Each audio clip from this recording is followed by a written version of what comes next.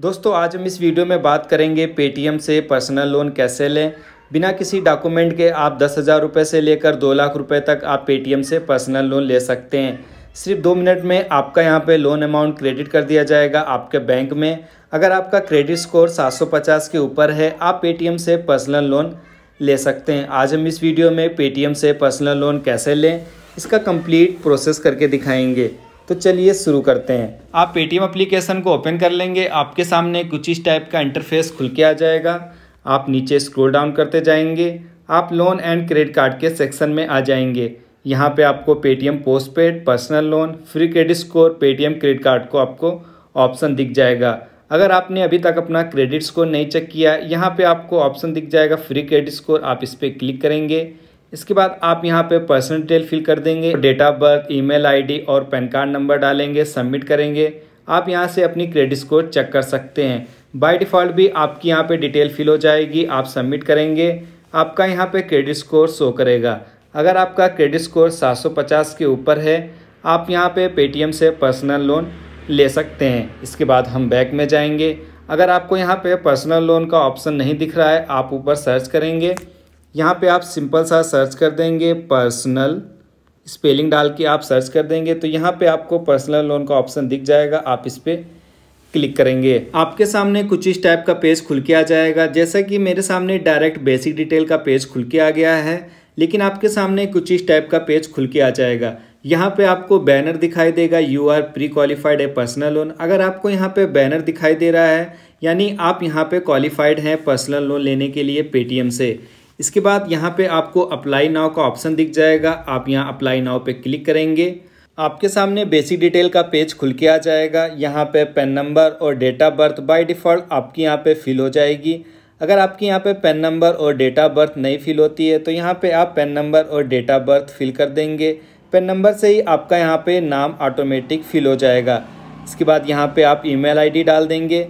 इसके बाद यहाँ पे लिखा हुआ पर्पज़ ऑफ़ लोन यहाँ पे आप लोन का पर्पज़ बताएँगे। आप ये लोन किस वजह से लेना चाहते हैं? Wedding home renovation business education आप यहाँ से सेलेक्ट करेंगे। तो हम यहाँ पे पर्सनल यूज़ पे टिक कर देंगे और नीचे हम डन कर देंगे।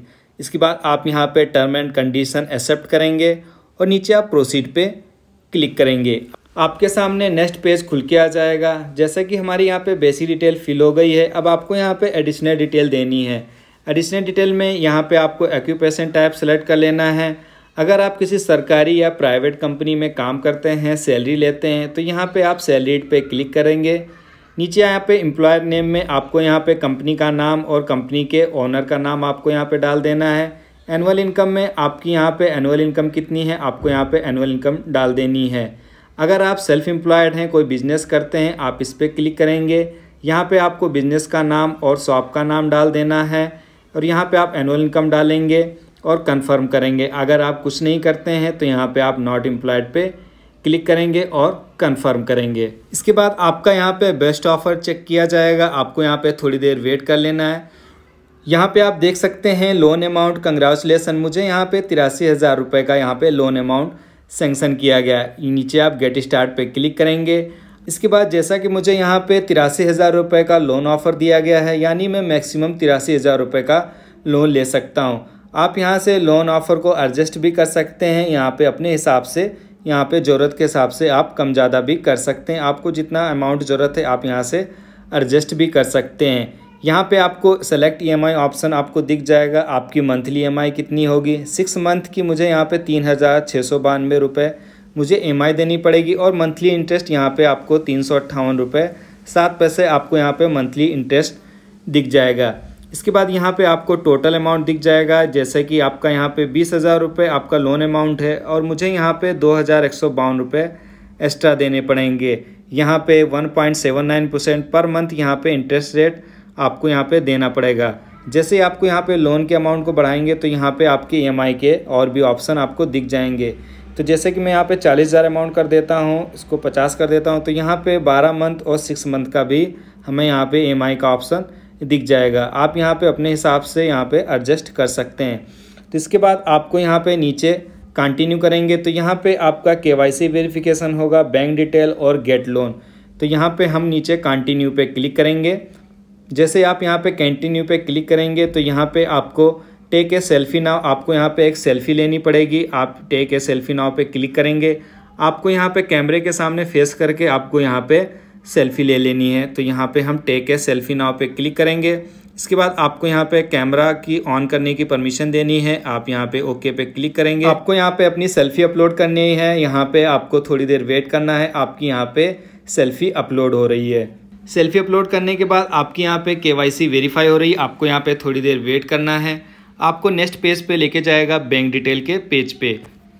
इसके बाद यहाँ पे कह रहा है sorry we cannot proceed with your application यानी मैं अब यहाँ से अप्लीकेशन प्रोसीड नहीं कर पाऊँगा। मुझे यहाँ से अब लोन नहीं मिलेगा। तो यहाँ पे कह रहा है, हम आपको नोटिफाइड कर देंगे एसएमएस और ईमेल के ज़रिए, अगर आप लोन के लिए एलिजिबल होंगे। तो यहाँ पे आपको भी इस टाइप की कुछ प्रॉब्लम आ सकती है। मैक्सिमम केस में ये प्रॉब्लम देखने को मिलती है। अगर आप इनके यहाँ पे रीज़न देखना चाहें कि मुझे यहाँ पे लोन अप्रूवल क्यों नहीं किया? तो यहाँ पे लिखा है why was my application not approved आप इस पर क्लिक करेंगे। तो यहाँ पे आप इनके कई सारे रीजन भी देख सकते हैं। Lack of credit history low credit bureau score poor loan repayment history तो यहाँ पे कुछ भी रीजन हो सकता है। अगर आपको यहाँ पे कुछ इस टाइप की यहाँ पे प्रॉब्लम नहीं आती तो आपके सामने बैंक डिटेल का पेज खुल के आ जाएगा। आपको बैंक डिटेल फिल कर देनी है। अकाउंट नंबर आई डाल के आपको सबमिट कर देना है। आपको बैंक डिटेल फिल कर देनी है। आपका यहाँ पे लोन अमाउंट क्रेडिट कर दिया जाएगा आपके अकाउंट में, कुछ ही मिनटों में। तो ऐसे दोस्तों, आप पेटीएम से पर्सनल लोन के लिए अप्लाई कर सकते हैं। लेकिन दोस्तों, मेरी राय मानो, आप पेटीएम से पर्सनल लोन तभी लो जब आपको पैसे की बहुत ज़रूरत हो। अगर आपका क्रेडिट स्कोर अच्छा है, आप बैंक से भी पर्सनल लोन ले सकते हैं। तो आशा करता हूँ दोस्तों, आपको मेरा वीडियो पसंद आया होगा। अगर आप मेरे यूट्यूब चैनल पर नए हैं, मेरे यूट्यूब चैनल को सब्सक्राइब करें। वीडियो पसंद आया हो तो लाइक करें। मिलते हैं दोस्तों नेक्स्ट वीडियो में। जय हिंद।